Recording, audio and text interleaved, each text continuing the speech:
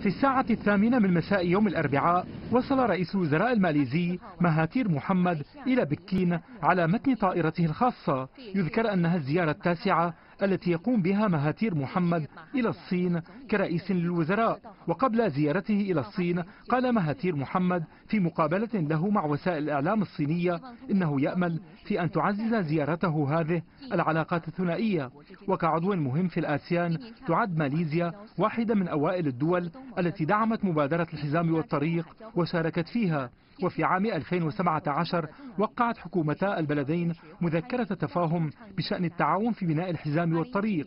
وفي العام الماضي عندما اجتمع الرئيس الصيني شي جين بينغ مع مهاتير محمد في بكين شدد على أنه يجب على الجانبين اتخاذ التشارك في بناء الحزام والطريق كخط رئيسي وتعزيز التعاون العملي الثنائي. في العصر الجديد وأشاد مهاتير محمد بمبادرة الحزام والطريق باعتبارها فرصة كبيرة لربط الشرق والغرب وتعزيز التنمية والازدهار المشترك للمنطقة مضيفا أنها ستفيد العالم بأسره.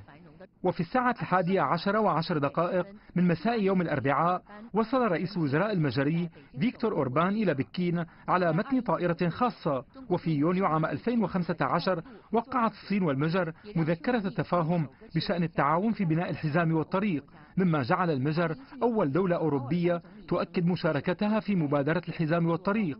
وفي مايو عام 2017 حضر أوربان الدورة الأولى لمنتدى الحزام والطريق للتعاون الدولي وقام بزيارة رسمية إلى الصين. وخلال الزيارة قرر قادة البلدين الارتقاء بالعلاقات الثنائية نحو شراكة استراتيجية شاملة. جدير بالذكر أن المجر تقع في وسط أوروبا وتتمتع بميزة جغرافية كمركز للنقل في وسط وشرق أوروبا. وصرح أوربان مرارا وتكرارا بأن الصين منفتحة على أوروبا من خلال مبادرة الحزام والطريق وذلك يتوافق مع استراتيجية الانفتاح على الشرق بالنسبة لبلاده.